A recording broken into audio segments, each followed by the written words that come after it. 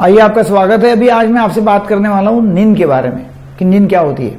देखिए नींद जो है ना, वो हर प्राणी मात्राओं में एक ज़रूरी चीज़ है। और ह्यूमन बीइंग तो ह्यूमन बीइंग जो है, उसको तो ज़रूरी ही ज़रूरी है। बहुत ही आवश्यक है नींद। और नींद के बारे में हमें पूरी जानकारी है नहीं। तो उससे बात करते मेरा नाम है डॉक्टर दीपक केड़कर मैं मनोविकार सेक्स रोग सम्मोहन तथा व्यसन मुक्त महाराष्ट्र में अकोला में प्रैक्टिस करता हूँ। मानसिक बीमारी में पहला लक्षण जो होता है, वो होता है नींद नहीं आना। पूरी नींद गायब हो जाती है। और मानसिक बीमारियों में जो दवाई दी जाती है, वो दवाइयों से नींद आती है। नींद जहाँ से कंट्रोल होती है ब्रेन में तो ब्रेन का वो हिस्सा और जहाँ से इमोशन कंट्रोल होते हैं, वो हिस्सा, वो काफ़ी ओवरलैप होते हैं। आजू बाजू में और काफ़ी ओवरलैप है। इसलिए जब जब इमोशनल प्रॉब्लम आते हैं, नींद गायब हो जाती है। क्योंकि दोनों एक ही जगह से कंट्रोल होते हैं। नींद के बारे में हमको पूरी जानकारी है नहीं, मगर हमारी ज़िंदगी का वन थर्ड हिस्सा हम नींद में डालते हैं। चौबीस घंटे में से आठ घंटे हम सोते हैं तो वन थर्ड एक तिहाई हिस्सा हम सोते हैं हमारे जीवन में। और इसमें होता क्या है कि भावना, विचार और शरीर, इसमें गड़बड़ हो जाती है, नींद नहीं हुई तो। मतलब नींद पूरी नहीं लिया तो भावना, विचार और शरीर इसमें प्रॉब्लम आते हैं, बदन में प्रॉब्लम आ जाएगा। और वो प्रॉब्लम आता है इसलिए ज़रूरी है नींद लेना। नींद यूजुअली छह से आठ घंटे नींद लेना नॉर्मली आवश्यक है हर इंसान को किसको छह घंटे, किसको आठ घंटे।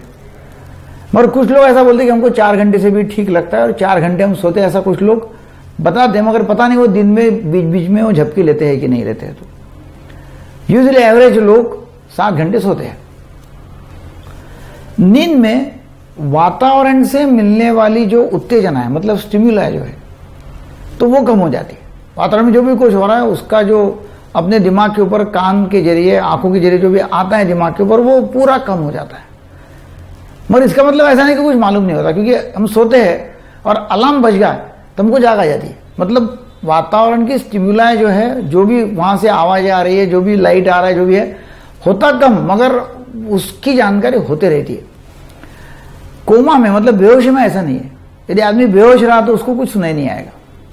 तो नींद की ऐसी आवश्यकता है ऐसी स्थिति है कि वहाँ से मतलब बेहोशी नहीं है, क्योंकि इससे जल्दी जागरूकता आ सकती है फटाक से, और ऑटोमेटिकली आदमी जागरूक हो जाता है।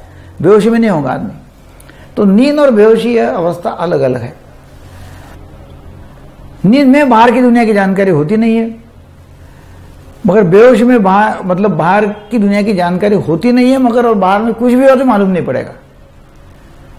मगर बहुत इंटेंस स्टिमुला यदि आ गया बाहर से तो नींद में आदमी उठ जाएगा।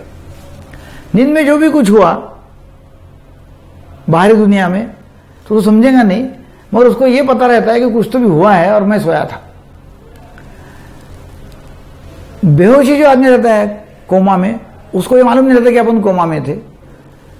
नींद वाला आदमी जो उसको मालूम रहता है कि मैं नींद में था और मुझे भी कुछ याद नहीं आ रहा है कि उस समय क्या हो गया तो, तो नींद की ऐसी अवस्था है कि जहाँ बाहर की दुनिया से जो भी कुछ स्टिमुला आ रही है वो मालूम नहीं है कम हो जाती है। बहुत ज़्यादा इंटेंस हो गया तो उसको जाग आ जाएगी कोमा में होता नहीं है। और नींद में जो भी कुछ हुआ उसके लिए उसको याद रहता नहीं है। ख्याल रहता नहीं नींद में हुआ। जब नींद आती है तो लोगों को मालूम होता है कि मुझे भी नींद आ रही है। कोमा में जब बेहोश तो मालूम नहीं होता कि अपन कोमा में जा रहे हैं। लोग सुस्त हो जाते हैं नींद आने के पहले। और जब नींद हो जाती है, उनको पता लगता है कि मैं नींद में था और मेरी नींद हो गई। ऐसा उसको मालूम पड़ता है। नींद दो प्रकार की होती है। एक है आरईएम स्लीप और दूसरी है एनआरईएम स्लीप आरईएम इसका मतलब होता है कि रैपिड आई मूवमेंट स्लीप और एनआरईएम मतलब non rapid eye movement sleep तो आरईएम स्लीप जो है, उसको पैराडॉक्सिकल स्लीप भी बोलते हैं। इसमें इलेक्ट्रो एनकेफेलोग्राम निकाला मतलब ईजी e निकाला। तो EEG just like normal waking state दिखता है, कि नॉर्मली अवेकन जैसा आदमी रहता है वैसे दिखता है वो। और एनआरईएम स्लिप जो है, वो non rapid eye movement sleep जो है, उसको ऑर्थोडॉक्स स्लिप भी बोलते हैं। और उस समय यदि इलेक्ट्रिकल एक्टिविटी हमने देखी इलेक्ट्रोफिजियोलॉजिकल एक्टिविटी तो वो एक्टिविटी एकदम डाउन है, एकदम कम है। और ईजी e भी एकदम लो में इसमें आ जाएगा, एकदम स्लो ईजी दिखेगा। ईजी की एक्टिविटी जो है, वो एकदम स्लो दिखेंगी। उसमें थीटा डेल्टा वेव्स बहुत ज़्यादा दिखेंगी और ईजी अलग दिखता है एनआरएम स्लिप में। तो ऐसी ये दो अवस्थाएँ स्लिप की। अब हम आगे की वीडियो में जानकारी देंगे R M N R M होता क्या है, अच्छी नींद कैसे होना चाहिए ड्रीम्स कैसे आते हैं, और नींद अच्छी आने के लिए, अच्छी नींद होने के लिए क्या करना चाहिए सब बातें मैं आप अगले वाले वीडियो में बताऊँगा। अभी इतना ही है कि छः से आठ घंटा नींद लेना ज़रूरी है। नींद ऐसी अवस्था है कि जो सबको ज़रूरी है। नींद यदि नहीं लिया तो शारीरिक, मानसिक, भावनात्मक विचारों के प्रॉब्लम आते रहते हैं। और तंदुरुस्त यदि फिट रहना है तो छह से आठ घंटा नींद लेना ज़रूरी ही ज़रूरी है। नींद ऐसी अवस्था है कि जिसमें बाहरी स्टिम्युलाई जो है, बाहर की जो वातावरण से जो भी कुछ आ रहा है, उसकी जानकारी कम हो जाती है और जल्दी आदमी वापस नॉर्मल स्टेट में उठ के तैयार हो सकता है। मगर उसको याद नहीं रहता कि उसमें हुआ क्या। तो अभी इतना ही है। आपको वीडियो अच्छा लगा तो ज़रूर शेयर करो सब्सक्राइब करो लाइक करो। Thank you very much